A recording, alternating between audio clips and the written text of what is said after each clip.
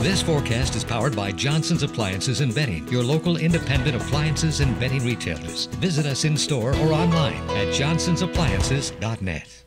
Well, today's just not your run of the mill Wednesday. It's actually National Blonde Brownie Day. It was on my national calendar when I woke up this morning. I think you call that a blondie. I could be wrong, right? I mean, that's what I've always called it anyway.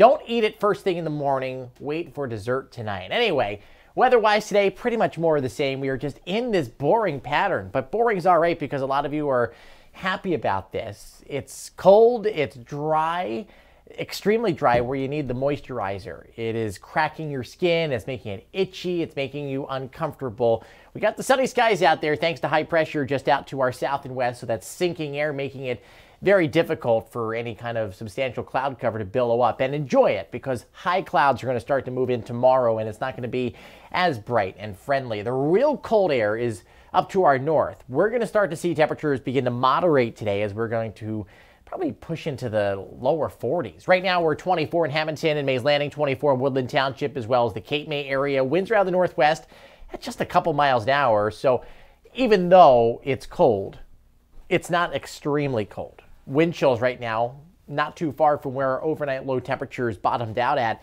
in the upper teens for a lot of you. 17 for Hamilton, 15 in the Mays Landing area. So not too horribly bad. Out the door, getting ready for the bus stop. Make sure everybody is bundled up. Lower 20s, a or factor of a 6. It looks great out there. I have no complaints. No complaints in terms of our sky conditions, partly to mostly sunny skies from Buffalo over to New Haven, down to Atlantic City, including all of Delmarva, down to the nation's capital. Really nice stuff. And then as we go into tomorrow, you'll start to notice these high clouds move through, and that's indicative of something called warm air advection.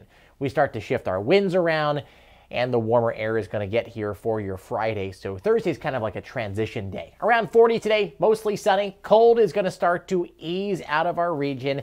And then tonight, we're not going to be as cold as where we've been. Clear skies.